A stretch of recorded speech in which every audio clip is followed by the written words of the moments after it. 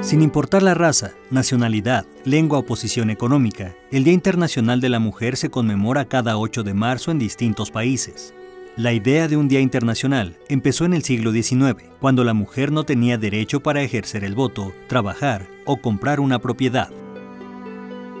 El primer antecedente de lucha por los derechos fue el 8 de marzo de 1857, cuando cientos de trabajadoras de una fábrica de textiles en Nueva York se manifestaron por los bajos sueldos pero fueron atacadas por policías. En esa manifestación fallecieron 120 mujeres. En 1910, la Internacional Socialista reunida en Copenhague proclamó el Día de la Mujer como homenaje en favor de los derechos de la mujer sin una fecha fija. Para 1911, la ciudad de Nueva York fue testigo de otra masacre, donde murieron 146 mujeres al quedar atrapadas dentro de la fábrica de camisas Triangle Shirtwaist, que ardía en llamas. Los propietarios de la fábrica bloquearon todos los accesos para evitar robos en su interior.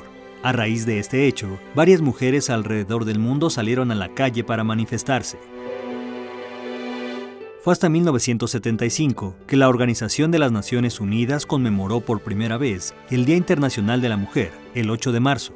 Bajo el lema Ahora es el momento, las activistas rurales y urbanas transforman la vida de las mujeres. La celebración de este año se suma a movimientos mundiales como hashtag MeToo de Estados Unidos y hashtag Yo también en América Latina, como protesta contra el acoso sexual y la violencia en diversas partes del mundo, así como por los derechos, la igualdad y la justicia de las mujeres. Se espera que para 2030 se eliminen todas las formas de violencia contra las mujeres y niñas en los ámbitos públicos y privados.